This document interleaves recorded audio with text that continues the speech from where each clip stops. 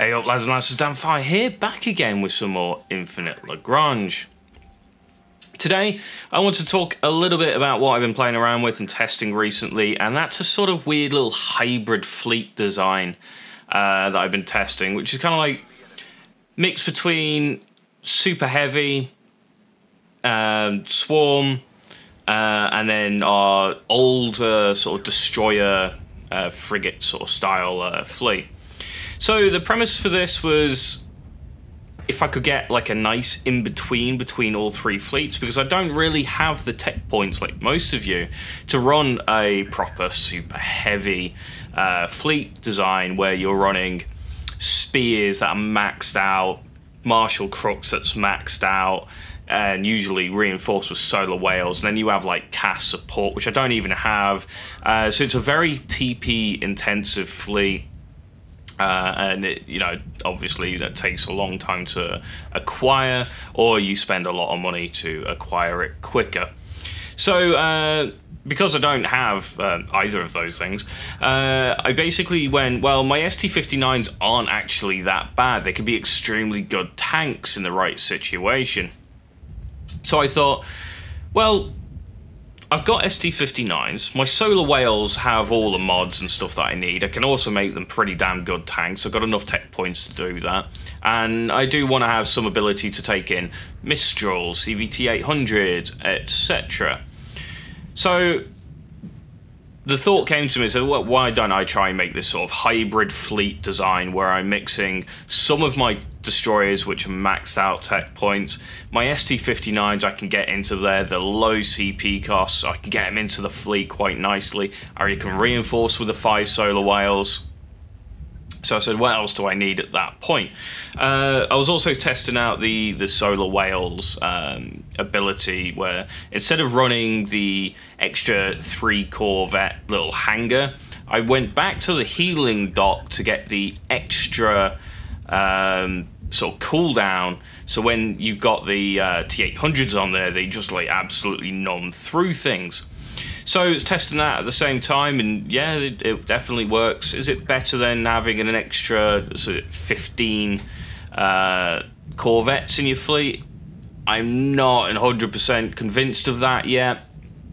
Uh, in theory, it should be because you're, you know, you're giving like a massive buff to a load of vets and whatever bombers you got if you got the large hangar on as well. So you know, in theory, it should be better. But uh, I'm I need to double check it, and I need to do like a maybe a single solar whale versus another solar whale, and uh, test it that way to try and work out that. Any, anyway, so we know the Winged Hussar AA is also extremely potent, so I've dropped that into this fleet. Only five of them was necessary, I felt.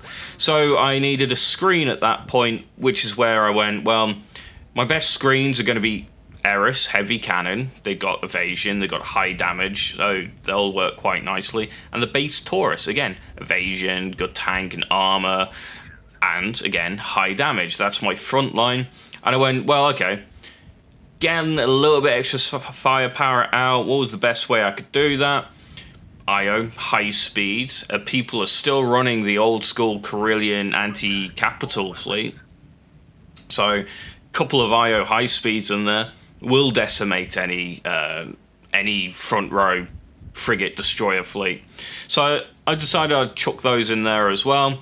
And then we got like a really weird hybrid fleet we've got this frontline frigate destroyer, midlines carrier, and then back row I got some healing and I had some um, Connemara plasma in there for a bit of high anti-battle cruiser uh, carrier damage output, as well as uh, some series. I eventually dropped the series uh, because they either die too quickly or everything else is dead by the point where they kind of mattered and they're just now healing. And I went against like a massive whale with a, a fleet similar to this while I was testing, and um, it took 20 minutes to kill me, but it did eventually just kill me. And it was a bit of a slugfest by the end, and uh, that was quite a fun uh, battle actually to watch.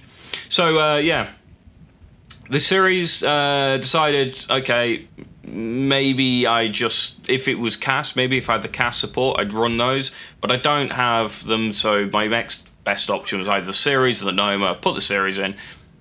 Didn't work out as quite as well as I wanted to, so I've dropped the series in favour of adding uh, a bit more damage into the fleet. Uh, try and kill off as much as humanly possible. So this is the battle report that we've got. And uh, yeah, just watch the battle and uh, we'll talk a bit through uh, the report at the same uh, time. So we can see here that we've got a uh, beer drinkers fleet. Uh, it's a very it is pretty much the quintessential meta anti-capital fleet. We have Marshall Cruxes here that'll have the super cap or anti-super cap uh, stuff on it. We got the Jaeger with the anti-super cap.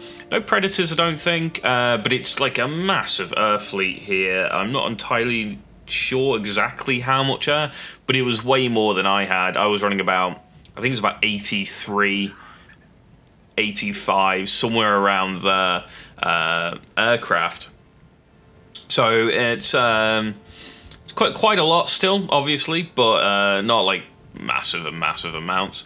Uh, and yeah, so my uh, uh, died and as you can see, uh, sort of midway through the battle here, uh, I am 4% down on hit points. I believe I've lost a couple of my Solar Whales and my ST-59s already. However, I've done significant damage to his air at this point.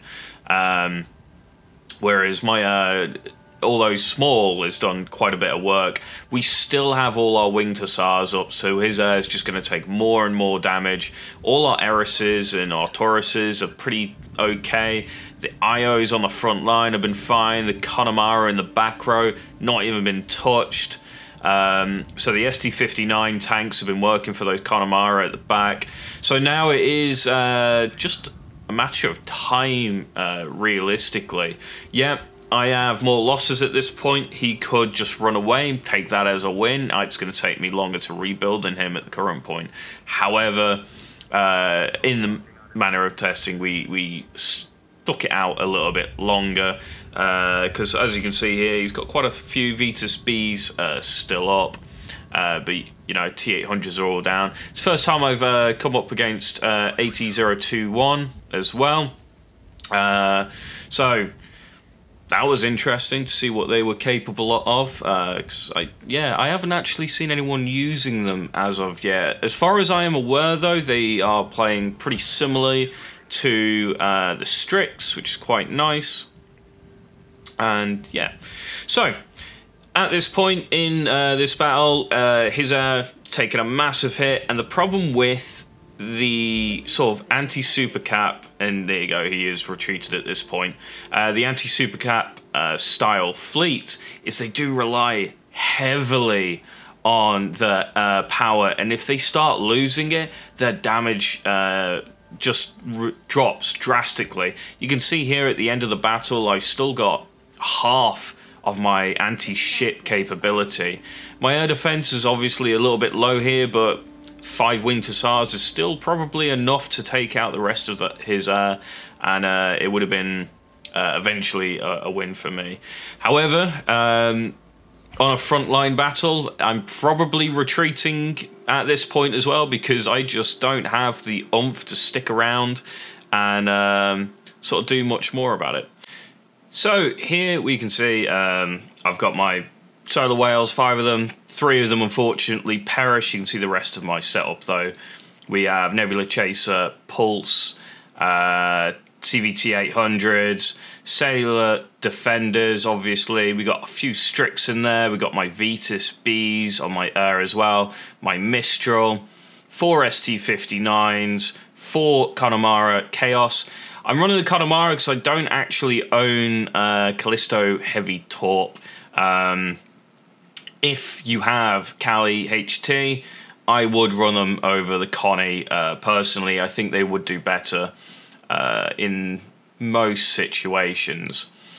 Also running two IO high speeds. Uh, they are plenty of damage for taking out Carillion and any frontline destroyer uh, base because they will retreat to mid row and that kind of thing. And they're pretty damn tanky now that the strategy if they're attacking frigs is now including destroyers, uh, so they get an increased evasion and all sorts of stuff. So they are very good on the front row now for that. That is specifically the uh, the B variant, the anti-ship variant, or the high speed variant. I think they're all high speed actually.